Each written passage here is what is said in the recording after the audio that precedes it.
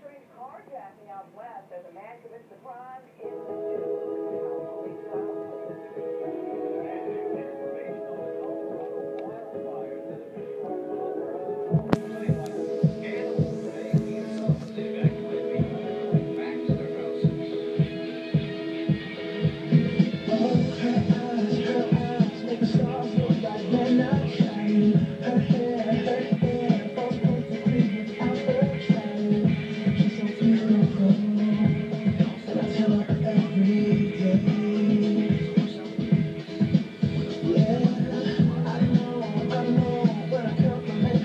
Thank you.